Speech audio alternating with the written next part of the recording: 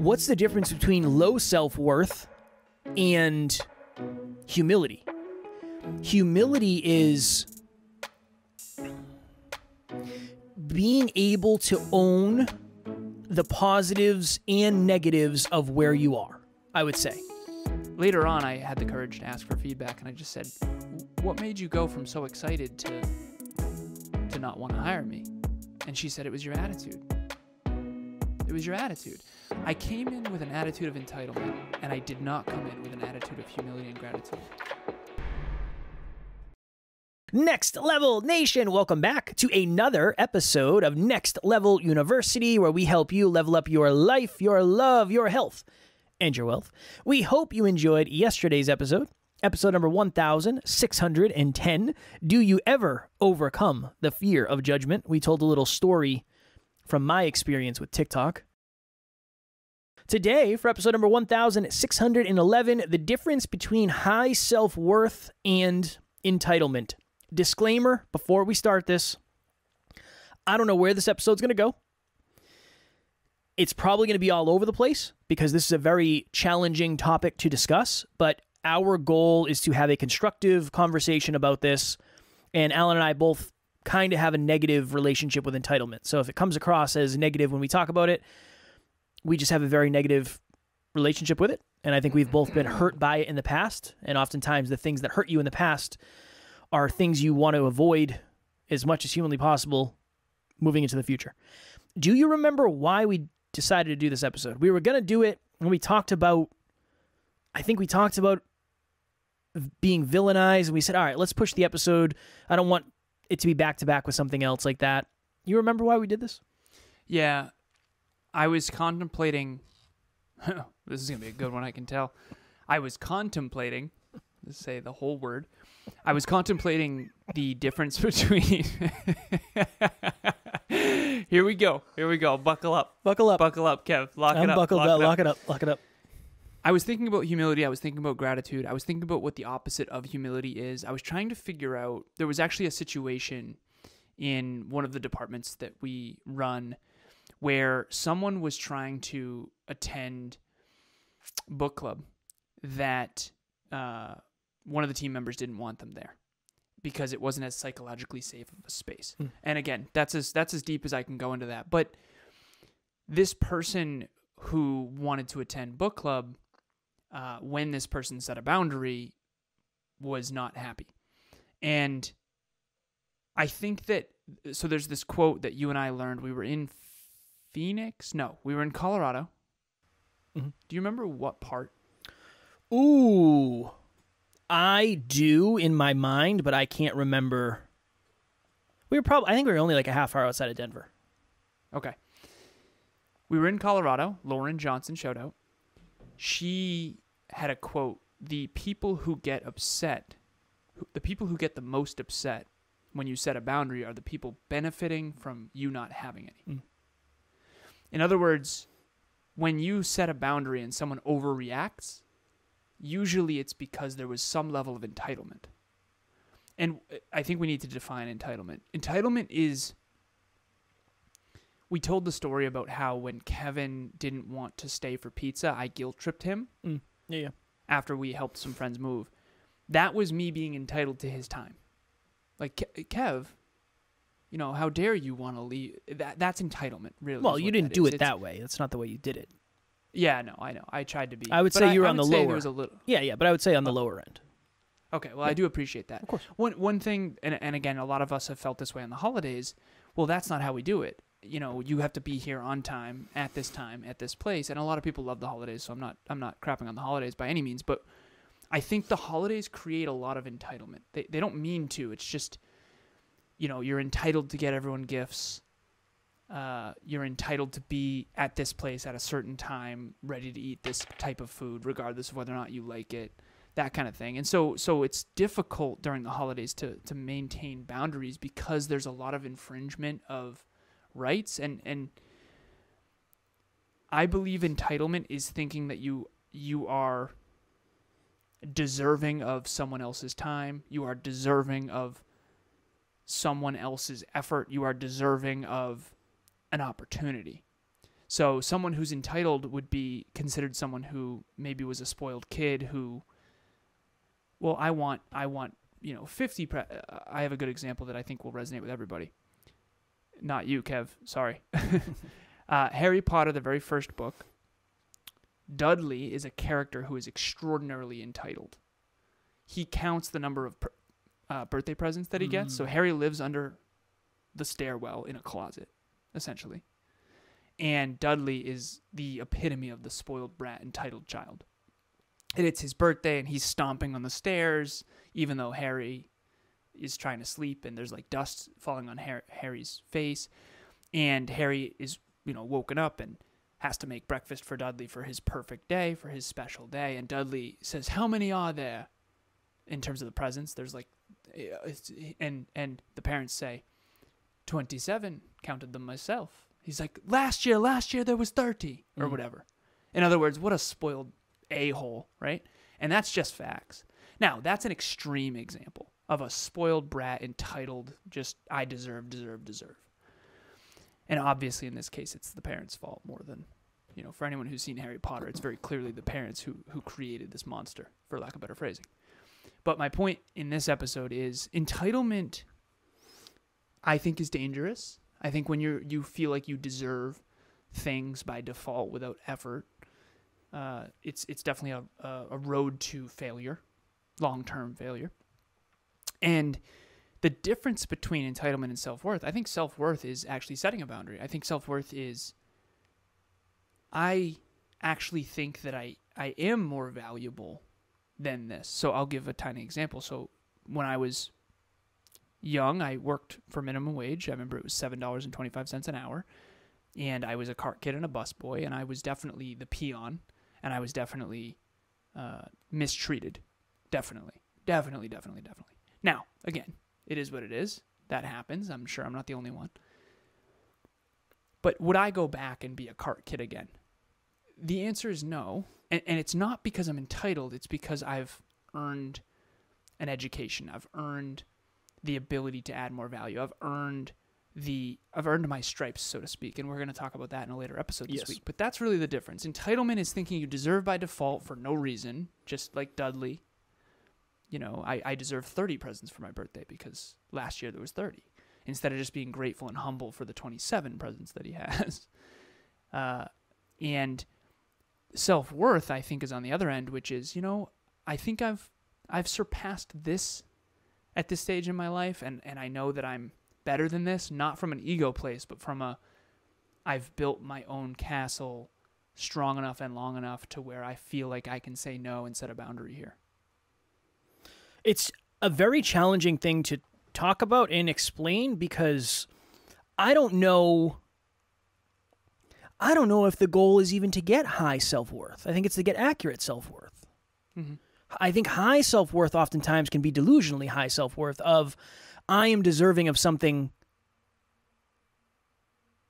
so okay, let's do this because this is really what we we want to talk about. The difference between high self-worth and entitlement is you earn high self-worth through working your way from maybe low self-worth to middle self-worth to again, when I say high self-worth, I just mean appropriate. I mean it's appropriate for you as a human being. I'm not saying intrinsically. Intrinsically you're valuable, Alan and I are valuable, everybody's valuable. Intrinsically you're valuable.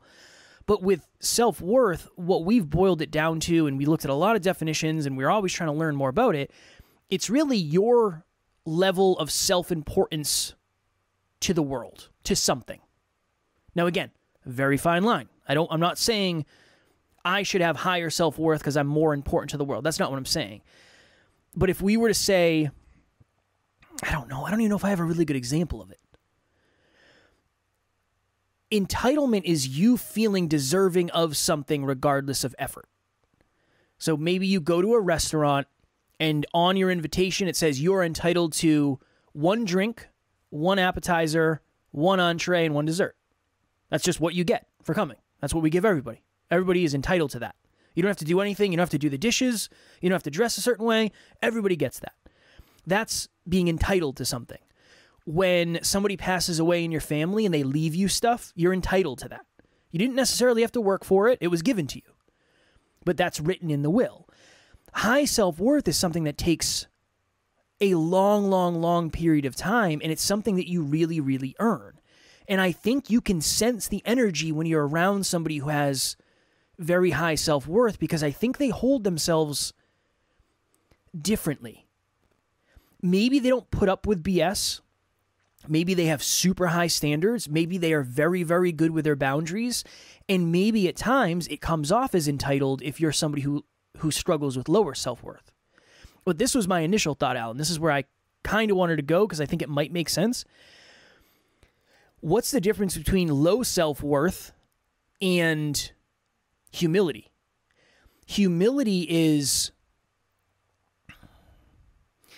being able to own the positives and negatives of where you are, I would say. So if somebody says, "Hey, you're in real really good shape and you're a professional athlete who is always in really good shape," you being humble might be, "Thank you so much. I appreciate the compliment. I've worked really really hard." If you have low self-worth, you might completely dismiss that and say, "No, I'm not. I'm I'm not proud of my body. I don't look good." Those are two very very different lives. But here's the here's the other challenging thing. And we've seen this a lot. If you have low self-worth, you unfortunately probably attract and don't filter out a partner that doesn't belong in your life. Yeah. But that wouldn't necessarily be humble. It's not humble to date someone who treats you like garbage. Well, that person's probably entitled. Very, very possibly so. So I'm trying to, I think it's almost easier to talk about humility and low self worth than it is to talk about entitlement and high self worth. Maybe because I have more experience with the low self worth. I don't really understand to the same degree the high self worth. But the, the dangerous part is when it gets delusional.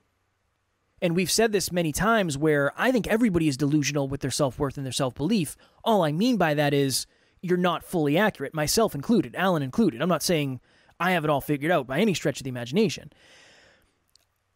I understand what it's like to fall under and be maybe delusionally low on self worth. I don't really, I've had bouts, moments of being high on it, but I don't know that I really understand completely what it's like.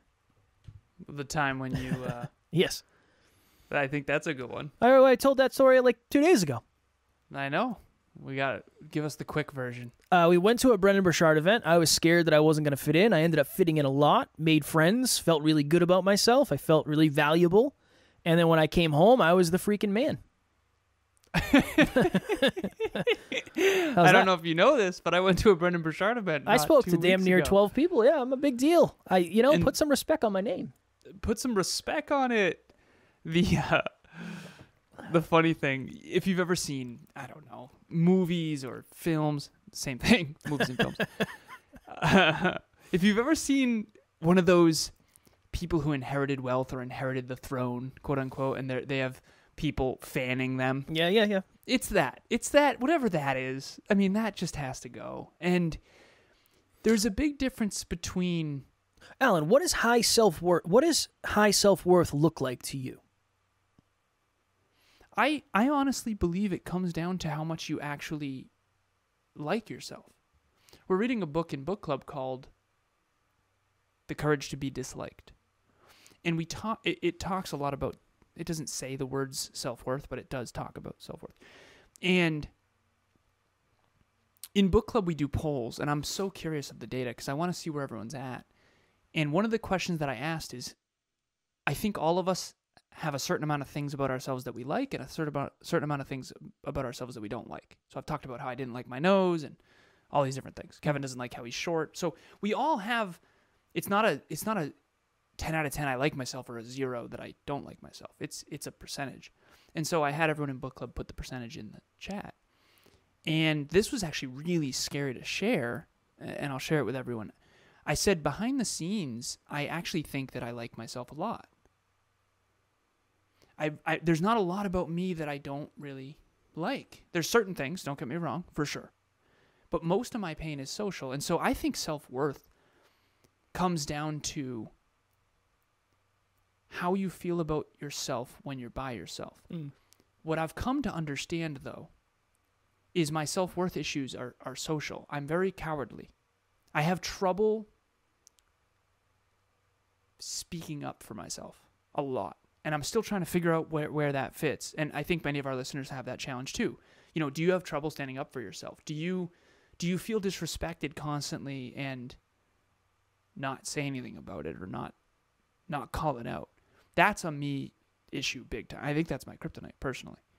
But when it comes to me by myself alone in, in this office when no one's watching, I'm not upset about me. I'm I'm I'm a fan of me. I think I think I'm great. I work really hard to be great. That's I think that's real self-worth and then I think the way it translates into the world is different. So again, to answer your question, I would turn a question to the listeners, which is what percentage of you likes what percentage of you do you like genuinely? And just be honest. I don't want you to say 100% like, 0% dislike. I think that's probably a lie. No one likes 100% of themselves. But I think you can get closer and closer and closer to 100%. I know that you like yourself a lot more than you used to. Well, I What's think ironic is you used to pretend otherwise, and so did I. Hundred By the percent. way, Yeah. Yeah. I think to your point, it a lot of it has to do with how much how much you work on yourself. Hundred percent. I think yeah, that's you're not going to like a house that you don't renovate. Well, okay, so this is a really good example. Next level nation, what is happening? If you've thought to yourself, I want to try coaching, but you don't really know where to start, group coaching would be a wonderful place for you. That's really why we created it in the first place. We start a new round every 90 days. So if you're hearing this, go to the website, nextleveluniverse.com, and we have the landing page where you can actually hold your spot right now. Even if there's a group going on right now, you can still lock your spot for the next one. The biggest thing that we've seen is as we get closer and closer to the date, unfortunately, some people end up missing. The group fills up and they can't do it, and then they end up regretting that. So please head over to the website. The link will be in the show notes, and we would love to see you there. Imagine two coaches. This is entitlement versus high self worth. Oh, let me tell a story first. Back, this was, I don't know, we were 300 episodes into the podcast, maybe. And I was, at that point, I was doing mindset coaching. I would consider it more than anything. I coached on, I was a personal trainer in the past. I coached on fitness. I talked about relationships. I talked about a lot of stuff, but I, I would consider it mindset coaching. And somebody reached out to me one day and they DM'd me. And it's wild how sometimes when your deepest fears come true, they actually make a positive point. This person said, Hey, I don't mean any disrespect by this, but what gives you the qualifications to be a coach? And I remember thinking to myself, I've never really thought about it. I'm I don't I don't know, I've never really thought about it. And then I, I wrote it out, not from a place of ego, but just from a place of explanation. And I said, I've done 300 podcast episodes at this point. I've studied self improvement every day for the last however many years. We have really successful mentors. I've read a ton of books. We've interviewed a bunch of people. This is kind of my life. All I really am focused on is growing and evolving and and knowing more about myself. And I said, at the end of the day, I'm helping people who are a few steps behind. Really, I'm not I'm not helping anybody who's drastically ahead of me. I'm only teaching what I've learned through through this journey. At the time, I think I charged $50 an hour for coaching. It would have been entitled for me to say I charge $500 an hour because I want to yeah. versus saying I charge I think this is where at the time I think this is what I deserve to make. I I charge $50 an hour because that's what I can get paid and that's the value I can bring to someone. As we grew and we evolved and we learned, our pricing went up. Not necessarily because we wanted we were entitled to more money, it's because we were worth more as a coach. And as we grew and evolved, our self-worth continued to increase if somebody said I'll give you fifty dollars for a coaching call today, it's it wouldn't be entitled necessarily for me to say no, but my self worth of what I am capable of adding value to you and the value I can bring to you as a coach is higher. So my price is also higher. But I know a lot of the stuff that we see on social media is well, you should charge five thousand dollars for this, or you should charge ten thousand dollars for this. And if you were to ask why, the person would just say, well, because you should. That's not the answer. The answer should be because you've put in so much work and you've learned so much and you understand your audience and you've practiced this and you know it works and all of this stuff. I think that's a really good example of the difference.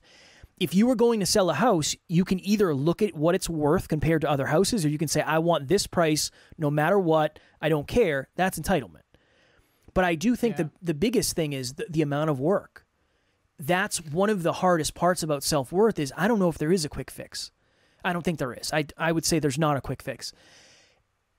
Self worth and self belief are two of the weird things where I think the only way to get more of what you want is to do less of what you want. The only way to do more of what you want is to do the things that you're actually afraid of. And that's why they're so damn hard to get. Mm-hmm. But going, but then I'll let Alan talk, getting to the end of it, self worth is confidence in self. It's valuing yourself accurately. It's understanding, based on all the work you've done, the value that you can bring. Last thing, disclaimer. I also understand that some people, they only find their value in what they do in the world. So that's also a dangerous game. And again, I don't have all the answers when it comes to this. This is a very deep topic with a lot of different things that connect to it. But hopefully, maybe a couple of those examples or stories break something free. I, I don't think this will be. I think this will be one of those episodes where maybe you leave with more questions than you came, but I think there'll be more aligned questions. Hopefully, when Kevin used the example of the house, so I've coached a lot of different people in real estate. Emilia was in real estate for many years. We co bought a house together. And when you buy a house, you look at the comps, which is what other homes in that area sell for. And a lot of times when she would have a client who wanted to overprice the house, she would say, You can do that. That's your choice.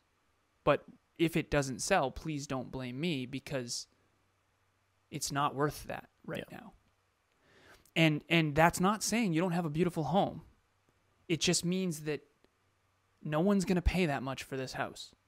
And when it doesn't sell for the next 6 months and you're still stuck living there, please don't blame me. That's her having the self-worth to say, "Listen, I can't win this unwinnable game that you've put on me. And if you want the house to sell, you have to be willing to accept what people are willing to pay. Versus when Emilia and I were trying to get a house, we went to this one place in Lancaster, and there was you would have thought it was a goddamn theme park.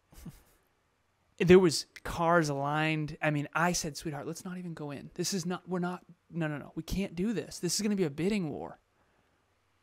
It was post COVID. Interest rates were really low. Everyone was trying to get out of the city and live in the suburbs. I mean, it was just a unique circumstance that house was listed for 425 i bet you it sold for 580 you know because of all the people Yeah. that wanted it it's it's the last cookie in the cookie jar is worth more than the first cookie when there's cookies everywhere it's just one of those things and again you got to be careful with human value versus material value it's like well copper what's the value of copper well if copper is used in electronics and electronics become more valuable then copper goes up. It's a commodity. Now there's a whole economic thing around this and that's why the whole nft thing got me all messed up. But the point is is that human worth and human value is very hard to measure.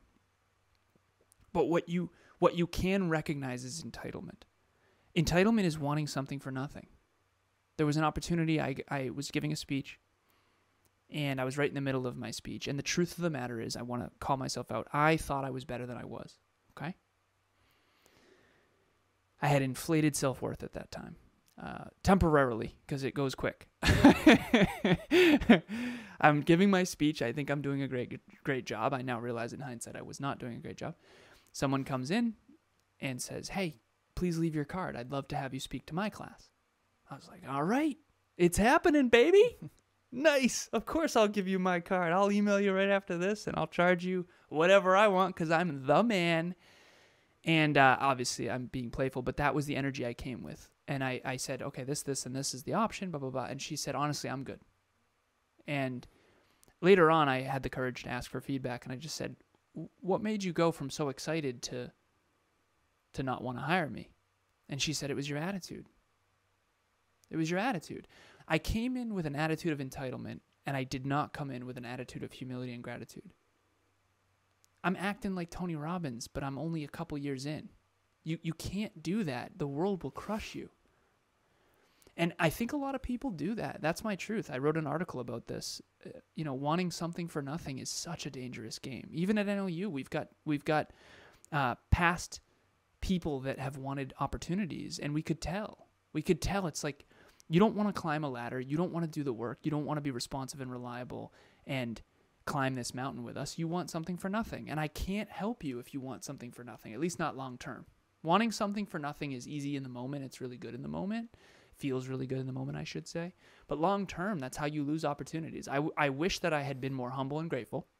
And I wish I had gone to that speech and been more humble and grateful, and then gone and gotten another one, and then gone and gotten another one with humility and gratitude. I wish that I had, I had, had a more accurate self worth. If I had a more accurate self worth and less entitlement, I probably would have been much better off. I definitely would have. Fortunately, I ate the humble pie.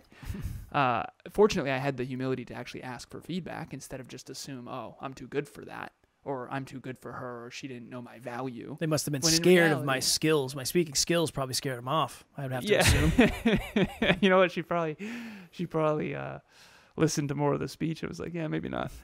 Uh, I'm kidding. But at the end of the day, I think that we all have to find this balance and be accurate with self. And self awareness is literally that it's accurate with self. If you've been speaking for 15 years, mastering your craft, and you know that you're stronger speaker than most of the market, that's different than being brand new saying, hey, you know, I, I think I'm worth five thou it's just a different energy. It's a different attitude. And if you don't have an attitude of gratitude, you're in serious trouble. And I just hope that that helps people. Last thing, I was thinking of trying to think of another. I just want to make sure it lands. And because I think this is one of those, it's just one of those complicated things. Low self worth might look like this person doesn't treat me well, but I don't deserve to be treated well. Unfortunately, Unfortunately, that is oftentimes a telltale sign of low self worth. High self worth, accurate self worth, however you want to label it, might be I deserve better than this the treatment that this person is giving me because I've done this work. I know my love languages, that type of stuff. I've worked on myself so I understand that I actually deserve better than this. Entitlement would be this person and I are very similar Oh, I would. I don't even know if that would come across. I don't even know if that would be something that that the person would say. It might be. I expect this person to make a million dollars a year, and I expect them to be in the best shape ever of all time, and I expect them to be the most patient communicator and to meet all of my needs, and you not intend on reciprocating any of those things. Just because you feel like that's what you deserve. That is an entitled mindset. And that sets you up for long-term loneliness because you're most likely going to you're you're going to say I don't ever want to settle when reality is settling is not settling. Settling might be actually meeting someone where you are and that's why it's so hard to talk about self-worth, especially high self-worth. Because when you say that and again, we've talked to many many many many hundreds if not thousands of members of the community at this point. Very few are high, delusionally high when it comes to self-worth entitled. We haven't seen that very often at all. So this episode hopefully will be more about how to recognize this in others. But again, as always, if anything we said triggered you, sit with it and see what it means. I could be off because this is a very challenging thing to to convey, but there's always that question of is this a me thing or is this a Kev thing or is this a me thing or is this an Alan thing? So that would be my next level nugget. Anytime we do episodes like this, it's always it's always challenging to talk effectively without potentially triggering someone. And if I triggered you, I would say just sit with it and see what it means. I can't promise I'm right, but I know there's probably more in it if we just sit down and think about it. My next level nugget is figure out where you're at with this. Uh, the the last just to bring Harry Potter for oh of course yeah come on in Harry got to the the best example that I can give is at the end of the books and the movie. I talk more about the films because I I've read some of the books, but not all of them. When he breaks the Elder Wand and throws it away, that is the moment where Harry realizes that he is enough. That's the moment of finally leaning into his true self worth. Whereas before that, he always felt not good enough or not capable enough. And it makes sense because you can't just start there. You don't just start making you don't that's why I don't like the 4-hour work week. It's it's nothing against Tim. It's actually a valuable book when you actually read it. I don't like the title. The title is in, entitled. The title is entitled. you're not going to make a million dollars a year working 4 hours a week.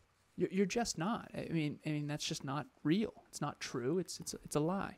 Is it possible? Yeah, after 20 years of hard work, then you can probably do that. But that's that's what Kevin and I talk about. We we are not entitled individuals. We try hard not to be, I should say. And trust me, I've had bouts of entitlement. So has he. I told you one of mine. I mean, I, I got smacked down quick on that one. I'm perfect. But, I'm perfect. That's never happened to me. So you've been smacked down once pretty hard. Yeah, I've mul- multiple multiple times. But again, that's it's one of those. We talked about this in last one of last week's episodes, it's one of those things where it becomes a weapon you don't know how to use yet. You yeah. think it's accurate. I've earned this. I went to a I went to an event, I spoke on stage, I got a new client, whatever it is, and then you overshoot. And that usually knocks you back down and then you're you're low but higher than you were. And then the goal is just to keep doing your own unique version of that without cracking too many eggs and eventually you get to the the accurate appropriate place, but it just takes years. I just had a really big breakthrough share with everyone.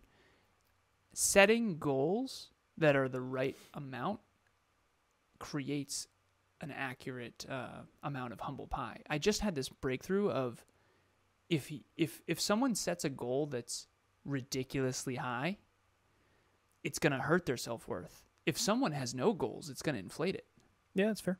Because having a goal benchmarks you up against something. Yeah. And it's almost like if you don't have any goals, you're not going to get humble pie. If you have big goals, you're going to get humble pie constantly. And so if your goals are too large, too quickly, so if like a let's say a 7-year-old tries to become a pro snowboarder, that's going to crumble them. That's going to crush them. But if someone's been snowboarding for 25 years and they're still on the bunny hill, they're going to think they're awesome. Mm. And and I think that that's you know, and that's another episode we'll do at some point, which is accurate goals create accurate self-worth. Uh, I think that would be really valuable. But I just had that breakthrough. I wanted to share it. You got to play in the right league. You got to play in the right league. Know, yeah, hundred right percent. Yeah, you don't play t-ball when you're 27. I never played t-ball, son. well, you were the man. I so. went right to uh, farm league when I was an eight-year-old. I played for Sports Minded. That was nice the work. the name. Yeah you make million dollar sponsorships. And I got a sponsorship right away from the Twix uh, Trix cereal. right away, they came out. I said, "This kid's something special. What do you think of a million dollar sponsorship from Trix cereal?" And I said, "I don't eat it, but I'll pretend I do." no, what you said is I'm too good for that. Yeah, no, I said make it you two million or nothing. Tricks are for kids. I'm an adult. I'm an adult now. None of that happened. None of that ever happened. If you are looking for a group of like-minded individuals who want to work through stuff like this.